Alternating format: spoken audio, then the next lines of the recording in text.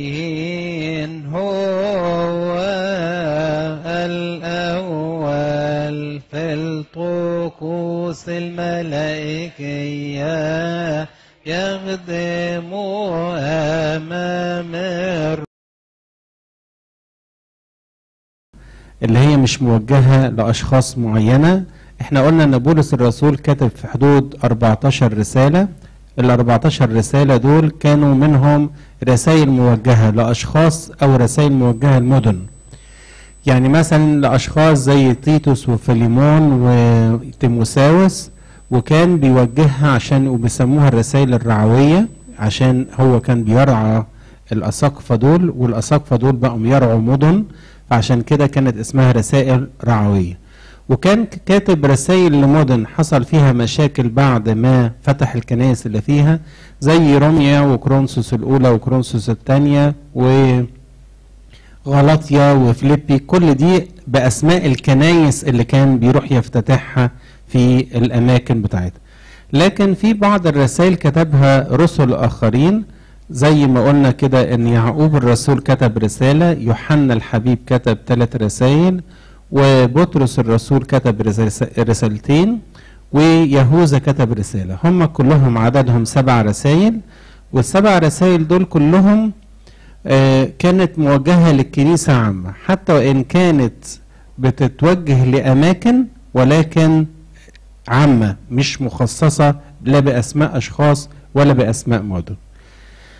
بطرس الرسول زي ما عرفناه إن هو أحد الأعمدة الثلاثة البطرس ويعقوب ويوحنا وكان بيرافق المسيح في حاجات كتير اتعرف على المسيح ساعة أما شفاله حماته أما دخل ووقف فوق منها وزجر الحمى فتركتها وفي الحال قامت وصارت تخدمهم وابتدى يقرب من المسيح أما ابتدى أن هو يسمع لأن في مرة راح المسيح على الشاطئ وكان في جموع كتيرة فقال له ابتعد قليلا فدخل في السفينة وقعد يعلم وبعد ما علم فترة كبيرة قال له ادخل إلى العمق وارمي شو قال له يا رب إحنا تعبنا الليل كله ولم نصطاد شيئا ولكن على كلماتك قلت. فبداية بطرس الرسول إن هو بيصدق في كلمة المسيح وقال له على كلماتك ألقي الشاو.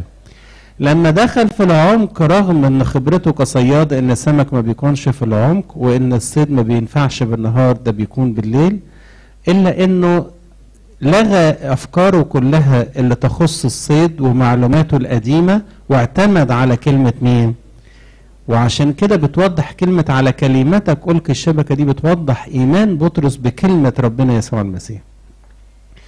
وما سمع كلمة بيقول أما دخل للعمق أمسك سمكا كثيرا فأول حاجة يقولها لربنا إيه؟ يقول له أخرج يا رب من سفينتي لأني رجل خاطئ. جزء حلو جدا أما الواحد يحس بنفسه إن هو مش مستاهل النعمة الكبيرة اللي ربنا اداها له. ساعات كتير إحنا بنستقل النعمة اللي ربنا مديها لنا. يعني وجودنا بس مجرد وجودنا في الكنيسة ده إحنا ده بصلوات القديسين. عشان كده إحنا دايما نطلب من العذراء نقول لها اشفعي فينا عشان تجعلي أبواب الكنيسة مفتوحة للمؤمنين. فهنا في ناس بتستقل بالنعمة اللي جاتها من ربنا ولكن بطرس استقل نفسه عن النعمة اللي جايله المسيح. قال أنا إنسان خاطي يبقى المسيح موجود عندي؟ عشان كده أما قال له اخرج يا رب من سفينتي أنا رجل خاطئ. كان بداية بذرة إيمان موجودة في قلب بطرس من المسيح. وزي ما شفتوا في الإنجيل اتقرأ علينا النهارده أما يجي وبيسالهم المسيح يقول من يقول الناس إني أنا ابن الإنسان؟ فكل واحد قال في ناس بتقول إيليا والناس بتقول أرميا والناس بتقول يوحنا وقام ولذلك تعمل به قوات وكل واحد عمال يقول حاجة طيب ومين أنتم من تقولون إني أنا راح أول واحد رد وعشان كده كان سماه صخرة الإيمان اللي هو مين؟ بطرس الرسول وقال له كده أنت هو المسيح ابن الله. كون إن هو صدق في المسيح وآمن بيه ما يمنعهوش إن هو يكون فاهم المسيح غلط وعشان كده برضو غلط بطرس وبعدين لما ابتدى المسيح يقول لهم ده ابن الإنسان هيجي وهيتألم وهينال آه عذابات وكده قال له لا حشاك يا رب. أخذوا بطرس وابتدى ينتهر يقول له لا حشاك يا رب. فانتهروا المسيح وقال له كده اذهب عني يا شيطان لأنك هو ما يقصدش إن بطرس هو اللي شيطان لكن الكلام ده نتيجة مين؟ تدخل الشيطان اللي عايز يفسد خطة الله المستقيمة اللي هو إن يجي المسيح ويتحمل العذاب عنا عشان يعطينا بآلامه حياة أبدية. وابتدى بطرس يبان في إصراره واهتمامه واندفاعه وحاجات كتيرة جدا كان مشترك فيها بطرس. يعني في إقامة ابنة يايرس نلاقي يقول أخذ معاه مين؟ بطرس ويعقوب ويوحنا. في في معجزات كتيرة كان ياخد بطرس وبعدين ابتدى بطرس من كتر ثقته بنفسه ابتدى يقول له رب أما ابتدى يقول لهم ده الليلة هذه الليلة تشكون كلكم؟ قال له لا ده إن شك فيك الجميع. ده أنا من زمان كده ما أقدرش إن أنا إن أنا أشك فيك. وساعات الواحد برضه كلنا كده في وقت الاطمئنان تبص تلاقي اللي يقول لك لا أنا مش ممكن أشك في ربنا لو إيه حصل. وأول ما تيجي مشكلة صغيرة تبص تلاقينا إيه؟ آه والواحد يبقى خلاص حاسس هو فين ربنا؟ ليه ربنا ما بقاش يسمع لي؟ هو ربنا ليه ما بقاش ي... ده لو ربنا بيسمع للناس كلها إلا أنا. وتبص تلاقي الشكوك دخلت قلب الإنسان. أما دخل الشك قلب بطرس مش الشك بقى. دخلوا مشكلة كبيرة جدا. إن في مرة كان شيء في وسط الليل وهم في البحر وبعدين الأمواج تهيج وبعدين يشوفوا خيال جاي على المية فقعد ما ظنوا إن هو خيال قعدوا يقولوا إيه؟ صرخوا. فبعدين المسيح يقول لهم أنا هو لا تخافوا. بطرس الوحيد اللي يقول له إن كنت أنت هو فمرني أن آتي إليك. طيب تعالى يا بطرس. أول ما دخل وابتدى يلاقي الموجة عمالة تعلى والهواء عمال يخبط. راح إيه؟ شك راح حصل إيه؟ ابتدى يغرق. فالمسيح يوضح إن سبب غرق بطرس يقول له يا قليل الإيمان لماذا إيه؟ شكر أما بطرس امن اخد أول واحد من التلاميذ ياخد سلطان الربط والحل. يقول له كده كل ما تربطه على الأرض يكون مربوط وكل ما تحله يكون محلول. وهنا الحاجة دي تخلوا بالكم إن السلطان ده زي ما خدوا بطرس اخدوا بقية التلاميذ اما أما المسيح ظهر لهم بعد القيامة ونفخ في وجوه تلاميذه وقال لهم كل ما تحلون على الأرض يكون محلول في السماء وكل ما تربطون على الأرض يكون مربوطا في السماء وهذه النفخة اللي بيتوارثها كل الآباء لحد ما البابا شنودة نفخ في البابا توادرس والبابا توادرس نفخ في كهنة جداد أو اساقفه جداد وهم دول اللي بيقوموا يعملوا إيه؟ يكملوا بقية الكرازة باسم المسيح. بطرس تعرض لموقف صعب جدا إن هو أما وثق بنفسه قوي وكان في ليلة ألام المسيح أخذهم المسيح معاه بعد ما ساب التلاميذ أخذ بطرس ويعقوب ويوحنا ويقول ابتدى يدهش ويكتئب وبعدين يقول لهم ان إن اسهروا معايا وصلوا وبعدين سابهم نحو رمية حجر وبعدين إيه ابتدى إيه ركع ثلاث مرات ويصلي كل مرة يرجع يلاقيهم إيه؟ فابتدى يلوم عليهم كده يقول لهم أما قدرتم أن تسهروا معي ساعة واحدة؟ ونتيجة إن بطرس كان واثق بنفسه خلاه يقول له إيه؟ قال له إن شك فيك الجميع أنا لا أشك. يعني أنا حاجة والناس دي إيه؟ كلها حاجة. ساعات كلنا بنفكر كده. والواحد يفتكر إن هو إيمانه حاجة تانية هو عند ربنا حاجة تانية أو ربنا عنده حاجة تانية. وتبص تلاقي ساعة الوجع تبص تلاقينا كلنا إيه بنبقى في الموازين إلى فوق. وبعدين يجي يقول له إيه بص يا بطرس أنا طلبت إليك لكي لا يفنى إيمانك. يعني إحنا ساعات بيبقى عندنا إيمان أقل من حبة الخردل لأن اللي عنده حبة خردل هيعمل إيه؟ ينقل الجبال طيب لكن إحنا إيه ساعات ما بيبقاش عندنا الإيمان ده. فبيقول له إيه؟ أنا طلبت إليك لكي لا يفنى إيمانك. وبعدين قال له أنت هتشك ولكن إيه؟ متى رجعت فثبت إخوتك. يعني بص المسيح كمان طمنه إن أنت إيه؟ وفعلا في الليلة دي تعرض بطرس لموقف صعب خالص إن جا جارية بتقول له أنت كنت معاه. شوف الموقف صعب قد إيه؟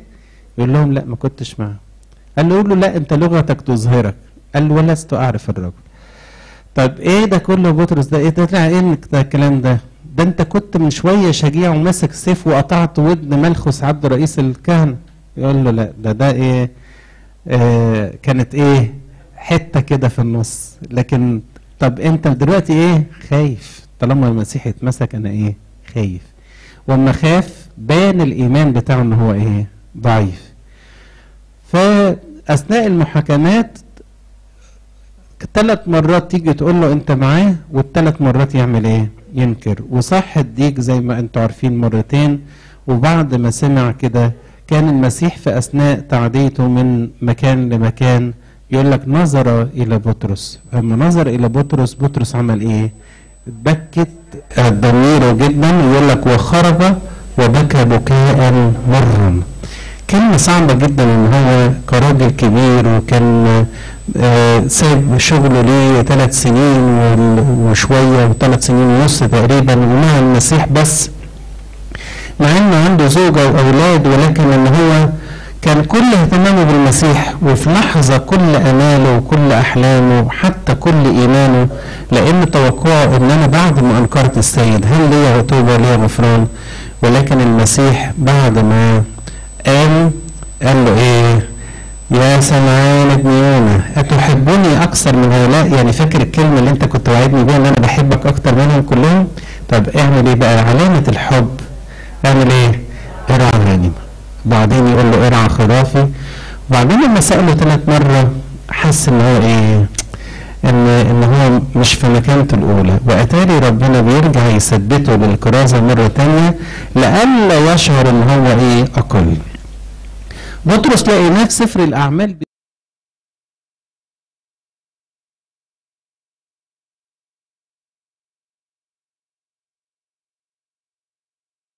الواحد ممكن يقول عايزة تبقى عايزة قوية جدا بس المؤمنين يتحركوا ولو شعرة كده. طب لكن ده بيكلم ناس غير مؤمنين بالمسيح والتلات آلاف نفس يخشوا في المسيحية وبعدين يعملوا إيه؟ يتعمدوا ويصيروا من الجماعة الطريق اللي هو الجماعة الأولى بتاعت أو الكنيسة الأولى اللي تأسست وعشان كده بطرس الرسول كان آه من الأقوياء جدا الناس الأقوياء جدا.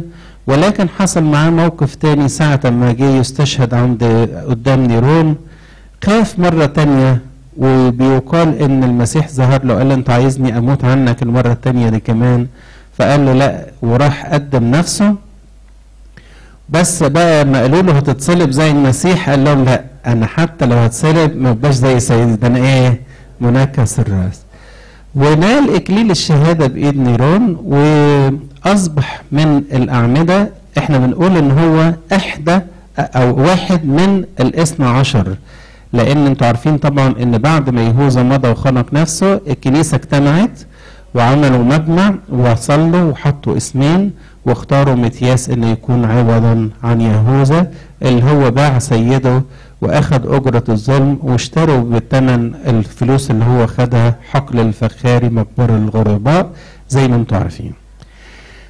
بطرس الرسول كان من الشخصيات البسيطة جدا ما كانش عنده علم وافر أنتوا عارفين إن هو كان صياد وما كانش دارس لا فلسفة يونانية ولا حكمة عالية ولا كان من الناس المقربين للسنهدرين زي ما كان يوحنا الحبيب ولكن كان بيحب المسيح جدا وكان مندفع في هذا الحب يعني كان من محبته لربنا يبقى عايز يعمل أي حاجة يطلبها منه المسيح ولقينا إن هو هنا كتب آه الرسائل دي مش رغبة في الكتابة ولكن عشان يبتدي يشجع الناس زي ما إحنا هنبتدي نقرأ.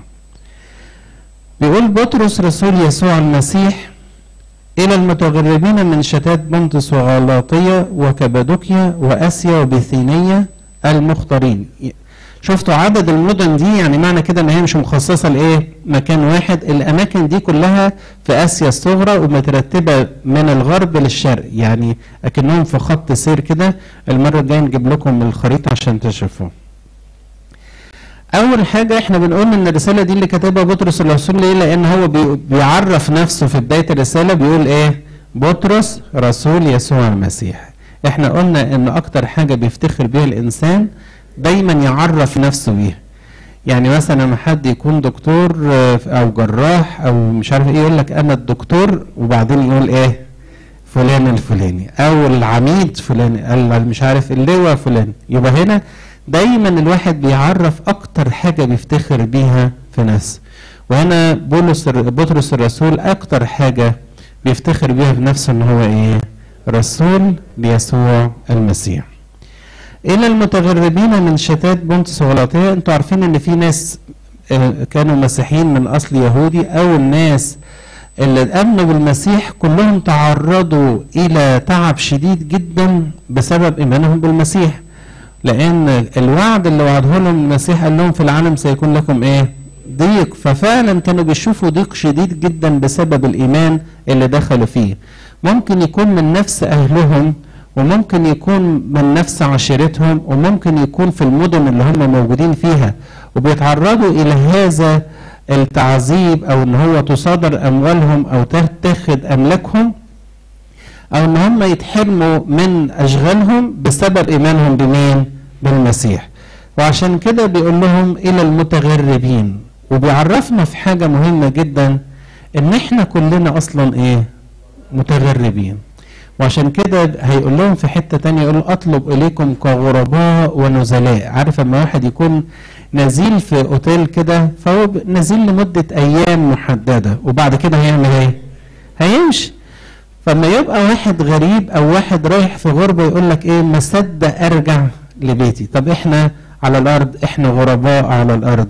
عشان كده كان داود النبي يقول له غريب أنا على الأرض فلا تخفي عني وصاك أهم حاجة بس الوصية اللي توصلني ليك عشان في الآخر أما تنتهي أيام غربتي دي ألاقي السماء إيه؟ مفتوحة لي. وحتة الغربة دي حاجة مهمة جدا لأن لما بيكون إنسان حاسس إن هو مستوطن في مكان طول ما إحنا مستوطنين في الأرض فإحنا غربة عن السماء. لكن الواحد اللي وطنه يقول لك نبتغي وطن آخر أي سماويا واحد حاسس إن وطنه الحقيقي في السماء فناس نفسه تنتهي أيام غربته بإيه؟ بسرعة. ويبقى بيتمنى سرعة العودة إلى وطنه الحقيقي اللي هو فين؟ في السماء. مش اكتئاب. ولكن أما بيكون في مكان هرب منه الحزن والكآبة والتنهد في مكان هيبقى في نور القديسين في مكان ما فيهوش حروب للشياطين في مكان هنبقى مع الأطهار والأنقياء والقديسين يبقى الواحد يبقى مشتاق ولا لأ؟ وعشان كده الإنسان اللي حاسس بهذا الاشتياق تبص تلاقيه دايما يحس إن هو غريب في وسط الناس حتى لو الناس استغربت يقول لهم أنت بتسامح ليه؟ يقول لهم أصل أنا مش مش من هنا من الوطن. أنا وطني فين؟ في السماء. عارفين الترنيمه اللي بتقول أنا ليا وطن تاني؟ آه فواحد ساعات حاسس دايما إن ليه وطن تاني. حتى وإن الدنيا استقرت هنا حاسس إن هو برضه إيه؟ غريب. نيجي نصلي إحنا بنصلي في القداس ونقول آه ونحن أيضا الغرباء في هذا المكان. طب أهم حاجة عندكم إيه؟ نقول له بس احفظنا في إيه؟ في إيمانك. وعشان كده الإنسان اللي حاسس إن هو غريب أكتر حاجة بيحافظ عليها الإيمان بتاعه ويخلي باله من إيمانه. من شتات منس وغلطيا وكابادوكيا وآسيا وبثينية المختارين. كلمة المختارين دي هل ربنا ليه ناس ناس يعني بيختار ناس وبيرفض ناس؟ لا. هو ربنا اختار الكل على على الصليب عمل إيه؟ فتح أحضانه وقبل الناس كلها. ولكن هل كل الناس قبلت إنها ترتمي في أحضان المسيح؟ لا. وعشان كده في ناس بدل ما يرتموا في احضانه عملوا إيه؟ طعنوه. وعشان كده في في يجي في سفر الرؤيا يقول ستنظروا كل عين والذين طعنوا يعني في ناس طعنته. لحد النهارده في ناس بتطعنه. لحد النهارده ناس ما بتطقش تشوف علامة الصليب ويمكن شفتوا كلكم على الفضائيات وعلى اليوتيوب إزاي بينزلوا الصليب بغل ويقعدوا يدوسوا ويقعدوا يكسروا فيه.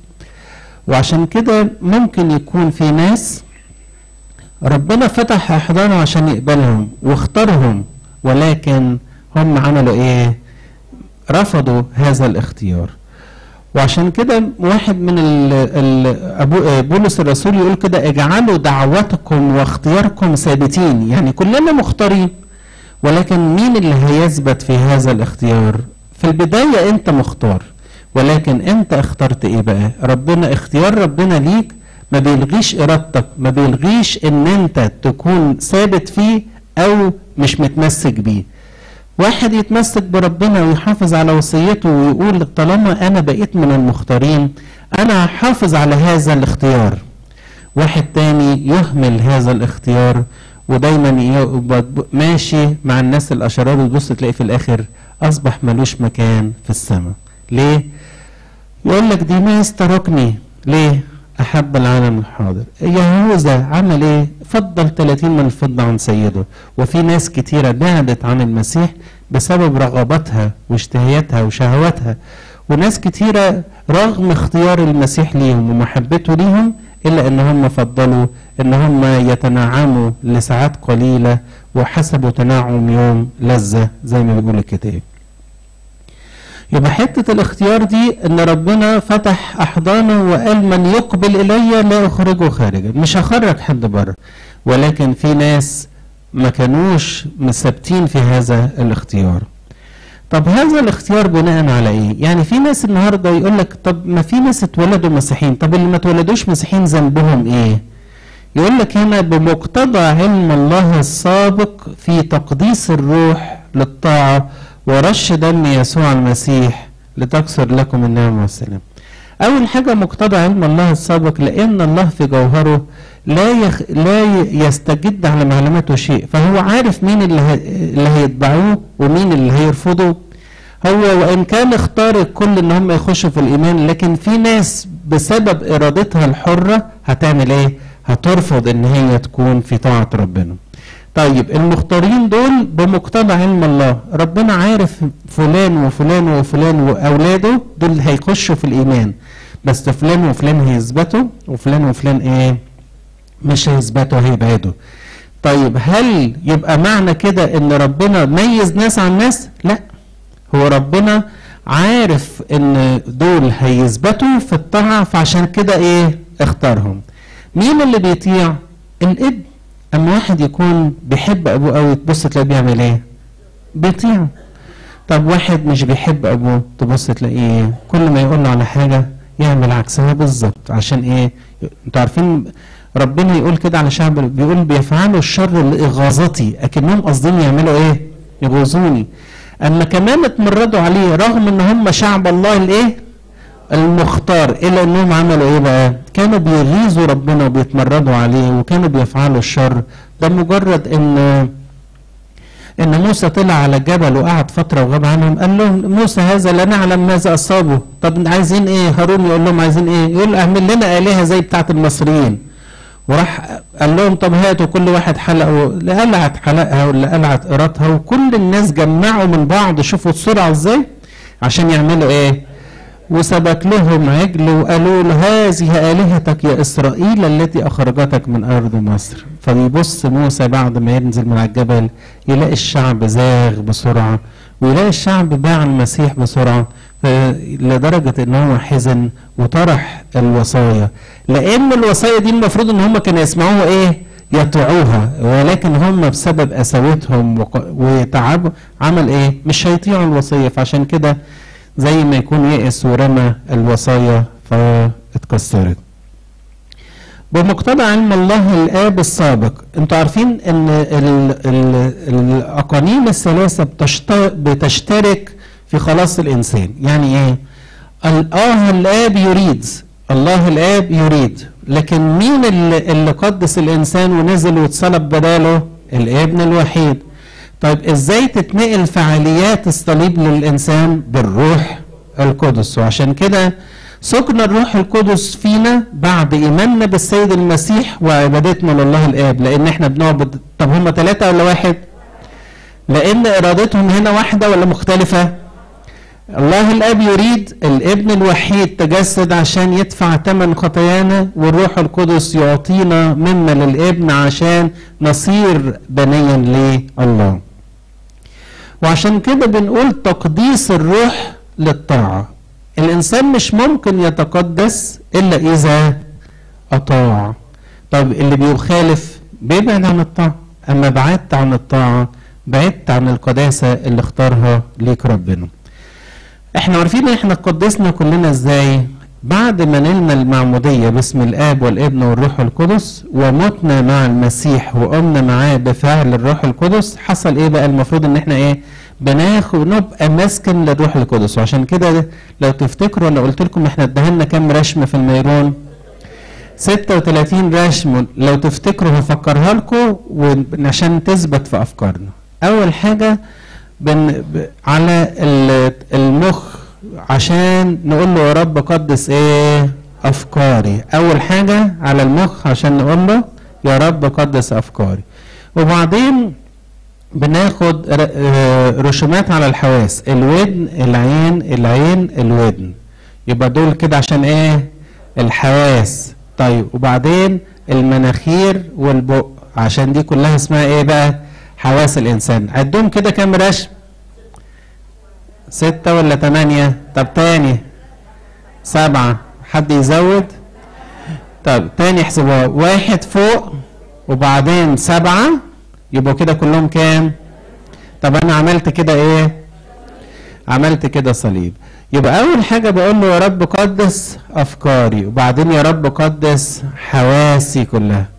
لأن الحوا... لأن العين اترشمت بالميرون فبقت ما ينفعش تبص على حاجة مش مقدس لأن الفم اتقدس بالميرون ما ينفعش يطلع كلام ما يرضيش ربنا. لأن الحواس كلها الودن اتختنت بالميرون يبقى المفروض إن هي إيه؟ ما تسمعش الأحاديث مش مقدسة. وهنا يبقى القداسة دي جاية لنا بسكن الروح القدس في عقلنا واستخدامه لإيه؟ لحواسنا. بعد كده بناخد صليب على الصدر وصليب على البطن. ال- الصدر ده مكان إيه؟ ها. القلب. عشان يبقى ربنا يقدس إيه بقى؟ يا رب قدس قلبي. طب وبعدين؟ البطن دي كمان يقول لك سيدة الأوجاع. لأن سبب دخول أو سبب ب- آه، خروج آه، حواء من ال من ال ال الجنة هي إيه؟ أكلة. فاحنا عشان كده بن- نرسم البطن عشان أنتوا عارفين بقى جايين يوم الجمعة صيام. فيبقى نخلي بالنا إن يا رب قدس إيه بقى؟ برضه الب... طيب وبعدين ياخد صليبين على الظهر على الصلب عشان أنتوا عارفين الواحد كده لما يجي يقف يقول لك أصلب إيه؟ طولي. يبقى. أما واحد يبقى عايز يعمل حاجة يبقى عنده إرادة. وعشان كده نقول له يا رب قدس إيه؟ إرادتي. طب تعالوا نفتكرهم مع بعض. يا رب قدس أفكاري يا رب قدس حواسي يا رب قدس قلبي يا رب قدس إرادتي. بعدين بياخد ست رسومات على كل على كل مفصل من مفاصل الإيد. عندنا التين يبقى ستة وستة كام؟ 12 طب الأولانيين كانوا كام؟ 8 و4 12 طيب ال- الإيدين بقى بنعمل بيهم إيه؟ بنشتغل بيهم. عشان كده نقول له يا رب قدس أعمالي. يبقى يا رب قدس أفكاري يا رب قدس حواسي يا رب قدس قلبي يا رب قدس إرادتي يا رب قدس أعمالي. ونفس اللي عملناه في الإيدين بنعمله في الرجلين. ثلاث مفاصل في كل مفصل من الأمام والخلف يبقى دول عشان الرجلين اللي بنتحرك بيهم. ونقول له يا رب قدس خطواتي. هنصليها مع بعض كده افتكروا كده إن ربنا قدسكم كلكم.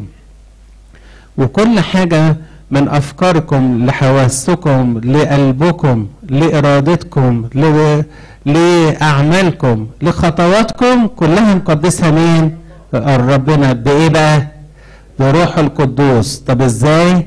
بفداء الإبن الوحيد طب تعالوا نصليها مع بعض كده يا رب قدس أفكاري يا رب قدس حواسي يا رب قدس قلبي يا رب قدس إرادتي يا رب قدس أعمالي يا رب قدس تقديس الروح عشان تفضل كل الحواس دي وكل الأفكار وكل الأعمال تبقى مطيعة للإنسان. إن ال- اللي يبقى الإنسان بيطيع بيها ربنا. وعشان كده اما يبقى الواحد مطيع ما يقعش في المخالفة. هو مين عصى زمان بالأكلة؟ ها؟ آدم وحواء. أما عصوا خرجوا من الفردوس. طيب وإحنا عشان نتقبل لازم يكون عندنا إيه؟ طاعة لكلمة ربنا إن إحنا نسمعها إن إحنا نلاحظ طرق ربنا فنمشي فيها إن أعمالنا تكون مقدسة وأفكارنا ما فيش حاجة تدنسها وخطواتنا تكون في اتجاه الملكوت. إزاي الحاجات دي قدست بيقول لك برش دم يسوع المسيح. كلمة رش دم دي متاخدة من العهد القديم في في اللويين. أما كان يجي يعمل الذبيحة كان لازم يعمل إيه؟ يرش الدم علامة للتقديس. وقلنا إن إحنا ساعة العهد أما موسى عمل العهد معاهم اخذ من الذبيحة ورش الدم على الخيمة الاجتماع وعلى الآنية وعلى لوحي العهد عشان يبقى كل الكلام ده مقدس بإيه؟ بالدم. لكن هل دم الحيوانات كان ممكن يقدس الإنسان؟ لا ده كان كله كان عبارة عن إيه؟ كان رمز. كان لما يجي واحد أبرص يبرأ من البرص كان لازم يروح يقدم عن تطهيره. كان يعمل إيه؟ بصوا فكروا معايا في في الرمز ده. كان يجيب عصفورين ويجيب إناء فيه مية ويجيب عود خشب. يمسكوا ال ال وحاجة زي ال زي تقريبا الزوفه كده فيعمل إيه بقى؟ أول حاجة يذبح عصفور ويحط الدم بتاعه فين؟ في المية. وبعدين المية اللي فيها إيه؟ الخشب. وبعدين يجيب العصفور التاني يعمل إيه؟ يغمسه فيها وبعدين يسيبه يطلقه هنا عملنا إيه؟ هو ده اللي حصل مع الإنسان. المسيح على الصليب حصل إيه؟ سفك دمه عشان يعمل إيه؟ يطهرنا. يقول لك ويطلق الطائر التاني للبرية. ليه بقى؟ إحنا خلاص أصبحنا حر- أحرار. بسبب إيه بقى؟ بسبب دم المسيح. يبقى كل الخطية اللي كانت علينا مين اللي شالها؟ مين اللي غطاها؟ وزي ما قال زمان في الذبيحة كده يرى الدم فيعبر عنكم فالله الآب لما ينظر من السماء يلاقينا متغطيين بدم الابن الوحيد اللي ترش علينا من قبل رش دمه. ويجي في سفر الرؤيا يقول لك إيه؟ هؤلاء الذين أتوا من الضيقه العظيمة وبيضوا ثيابهم في مين في دم الخروف. يبقى هو الجسد والدم اللي انت بتاخده النهارده عشان يرجع ثيابك بيضة زي الأول وتبص تلاقي إيه؟ نفسك طاهرة زي إيه؟ زي الأول. وده اللي إحنا بنقوله أثناء التناول نقول يعطى لغفران الخطايا. الخطايا دي هي اللي بتلوث الثوب الأبيض اللي إحنا خدناه في المعمودية ولكن من قبل الدم المسيح الكريم تغفر لنا كل الإيه؟ الخطايا وتمحى الأثام. لتكثر لكم النعمة والسلام. النعمة دي كلمة يونانية والسلام دي كلمة إيه؟ عبرانية. شالوم اللي هي جاية من أما كانوا يعرفوا دايما ال- السلام ومدينة سليم أو اورشليم اللي هي مدينة الإيه؟ ملك. وإحنا بنقول إن المسيح هو ملك السلام لأنه هو اللي أصلح الأرضين مع السمائيين فخلى فيه ما بيننا وبين ربنا إيه؟ سلام.